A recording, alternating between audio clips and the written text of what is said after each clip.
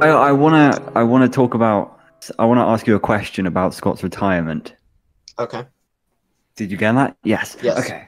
Um, do you guys think that in the end he came off positively as he retired?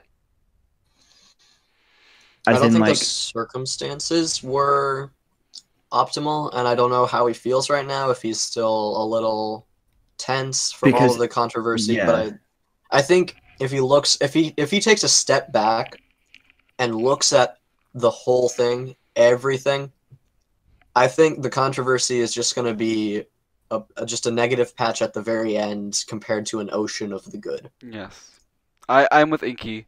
Um, he I feel like he deserves to be remembered, as like as the good person that he was, because he did so much for people. He's not perfect. Nobody's perfect. You don't have to be perfect. But in the end, I think he was a very pog champ good boy. I don't know.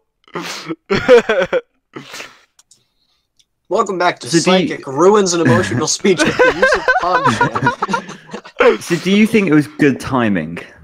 um. Um, hmm. Is there ever like on one hand like is there ever a good time to be canceled? I mean, yeah. But to be honest, that's that's true. But I've I I personally feel like he was ready to retire and I think this was was coming up. this was like this was just like the straw that broke the camel's back. And so or the or if you look at it the other way, this was the the perfect opportunity to instead of just going out of nowhere.